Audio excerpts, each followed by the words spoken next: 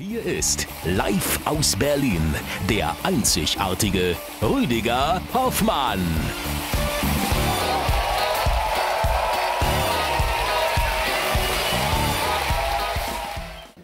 Wir waren allen Ernstes mit Olaf und Birte im Pärchenurlaub. In Dänemark. Im Ferienhäuschen. Wir Vollidiötchen.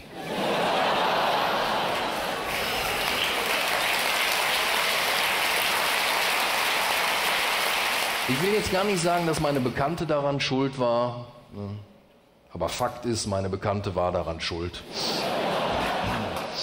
Lass uns doch dieses Jahr mal was anderes ausprobieren.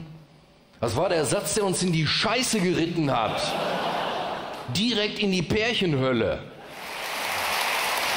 Ja, ich weiß gar nicht, ob Sie es wussten, aber mir ist ja neulich äh, was ganz Tolles passiert. Ich bin endlich über 40 geworden. Wahnsinn, ne? Ja, aber wirklich, wenn ich das gewusst hätte, wie toll das ist, da wäre ich schon viel früher über 40 geworden. Wirklich, kann ich jedem nur raten, da werden sie auf jeden Fall über 40. Äh, ist wirklich toll. Also 30 kann man ruhig überspringen, ne? aber 40 ist echt der Hammer. Ehrlich, wenn ich das gewusst hätte, wie toll das ist, da wäre ich schon mit über 40 auf die Welt gekommen. Wirklich. Äh, äh, echt. Naja, ich merke schon hier, die Jüngeren im Saal denken so Menschen in Anführungsstrichen ab 40 sind doch im Grunde nur noch sowas wie Freigänger. Aus dieser Ausstellung Körperwelten.